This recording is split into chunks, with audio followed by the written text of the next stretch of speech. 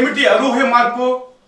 YCP అధినేత జగన్ పై విశాఖ విమానాశ్రయంలో దాడి జరిగిన గంటల వ్యవధిలోనే స్పందించిన చంద్రబాబు ప్రతిపక్ష నేతపై తనకున్న అక్కసు వెళ్ళగక్కారు.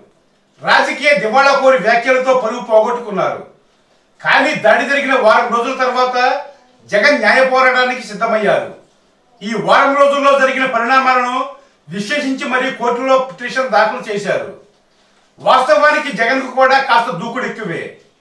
కానీ ఈ నాలుగున్నరేళ్ళ సమయంలో ఆయనలో ఎక్కడ లేని పరిణితి కనిపిస్తోంది.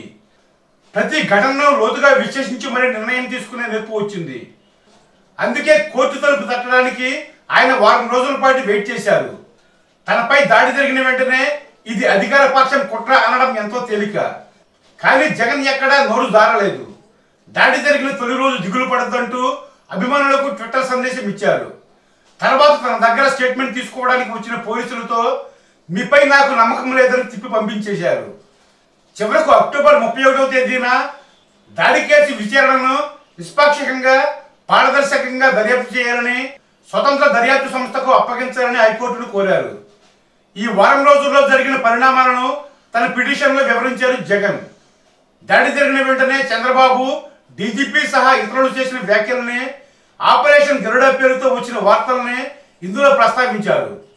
దాడిని తక్కువ చేసి చూపించే ప్రయత్నం జరిగిందని తాను అప్రమత్తంగా లేకపోతే కత్తి గొంతులో దిగేదని పిటిషన్లో పేర్కొన్నారు జగన్. ఈ పిటిషన్కు స్పందించి స్వతంత్ర సంస్థతో దర్యాప్తు చేపట్టాలని కోర్టు ఆదేశిస్తుందా లేదా అన్నది తర్వాత విషయం. ముందు జగన్ తాను చెప్పదలుచుకున్న విషయాన్ని కోర్టు వేదికగా ప్రజల ముందుంచారు. ఎవరు దాడి చేశారు? ఎందుకు దాడి చేశారో తెలియక ముందే వారం రోజుల్లో టీడీపీ ఎన్ని డ్రామాలాడింది ఎలాంటి నీచ రాజకీయాలు చేసింది జగన్ వివరించే ప్రయత్నం చేశారు. పిటిషన్పై విచారణ జరపనున్న కోర్టు స్వతంత్ర సంస్థ దర్యాప్తు చేయాలని ఆదేశిస్తే జగన్ తొలి విజయం సాధించినట్లే. అది ఖచ్చితంగా టీడీపీ ప్రభుత్వానికి చెంపపెట్టులో తగులుతుంది. విచారణ జరగకముందే ముఖ్యమంత్రి స్థాయి వ్యక్తి డీజీపీ హడావిడిగా చేసిన వ్యాఖ్యలు సామాన్య ప్రజల్లో కూడా తీవ్ర చర్చకు దారితీశాయి. చివరకు నిందితుడు శ్రీనివాసరావు తనకు ప్రాణహాని ఉందని మీడియా ముందు హడావిడి చేయడం పిచ్చి పిచ్చిగా మాట్లాడడం కూడా ఓ పథకం ప్రకారమే జరిగినవనే చెప్పాలి. అతను కాల్ డేటా విశ్లేషించినప్పుడు విస్తుపోయే వాస్తవాలు తెలుస్తున్నాయన్న సమాచారం అందుతోంది. ఇలాంటి టైంలో రాష్ట్ర ప్రభుత్వం ఆధ్వర్యంలోనే పోలీస్ వ్యవస్థతో స్పెషల్ ఇన్వెస్టిగేటివ్ టీం ఏర్పాటు చేస్తే ఏ మేరకు వాస్తవాలు బయటకు వస్తాయి?